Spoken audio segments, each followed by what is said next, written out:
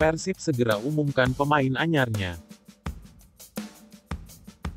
Sosok Dimas Derajat semakin santer dikaitkan dengan Persib Bandung di jendela transfer pemain jelang bergulirnya Liga 1 musim 2024 per 2025. Rumor Dimas Derajat gabung Persib, rupanya sudah sampai ke telinga interim Direktur of Sports PT Persib Bandung bermartabat, Aditya Putra Herawan. Adit mengakui ada banyak rumor yang hadir di masa jendela transfer kali ini. Adit memaklumi akan hal itu karena Persib merupakan tim besar. Apalagi di musim sebelumnya, Maung Bandung sukses meraih juara dan itu menjadi daya tarik tersendiri bagi publik sepak bola tanah air. Namun baginya, semua rumor tersebut tak akan dibantah oleh Adit karena kini Persib tengah melakukan proses perekrutan pemain. Ia memastikan, Persib akan segera mengumumkan rekrutan anyarnya secepat mungkin. Tunggulah, kita masih banyak diskusi internal juga negosiasi segala macam masih berjalan. Ketika sudah ada yang pasti kita pasti akan umumkan secara resmi, ujar Adit. Manajemen Persib juga dipastikan Adit akan terus bergerak aktif demi memenuhi kebutuhan tim. Apalagi ia sadar, Persib perlu komposisi pemain yang berkualitas agar mampu tampil apik di kompetisi domestik dan Asia.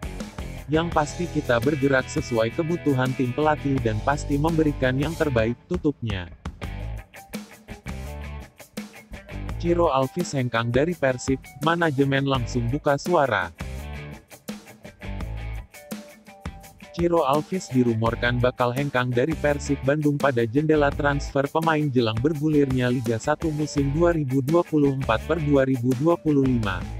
Namun manajemen Persib menegaskan, rumor tersebut tidak benar karena Ciro Alvis masih memiliki kontrak hingga tahun 2025.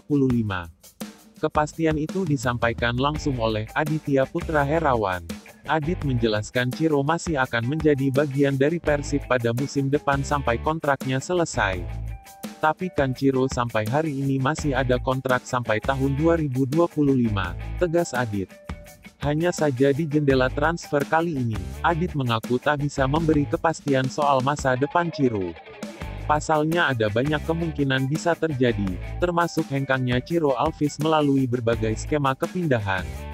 Rumor hengkangnya Ciro muncul setelah sang pemain menghapus Persib di bio Instagram miliknya. Hal itu memunculkan asumsi bahwa penyerang asal Brasil itu akan angkat kaki dari tim Maung Bandung. Jadi ya kita belum ada update lagi, tutupnya. Statistik Tirone Del Pino dipelajari, pertanda Tirone kembali gabung Persib. Perubahan jumlah kuota pemain asing di Liga 1 musim 2024 per 2025 menjadi 8, membuat Persib Bandung berniat melakukan penambahan pemain asingnya. Salah satu pemain yang kabarnya akan diboyong Persib adalah pemain asal Spanyol, Tirone Del Pino yang rumornya bakal kembali memperkuat Persib di kompetisi Liga 1 2024 per 2025. Kabar kembalinya Tirone ke Persib, muncul setelah jajaran pelatih Persib Bandung mulai menghitung statistik gelandang berusia 33 tahun itu, saat berkarir di Thailand. Hal itu juga dikonfirmasi oleh Aditya Putra Herawan. Dia mengungkapkan bahwa Tirone memang masih menjadi bagian dari Persib. Hanya saja di musim sebelumnya, Tirone terpaksa dipinjamkan ke Ratchaburi FC setelah Persib mendatangkan Stefano Beltrame untuk meningkatkan daya gedor di sektor depan. Tirone masih ada kontrak, masih ada diskusi juga dengan tim pelatih, sedang juga melihat data statistik saat dia main kemarin, ujar Adit.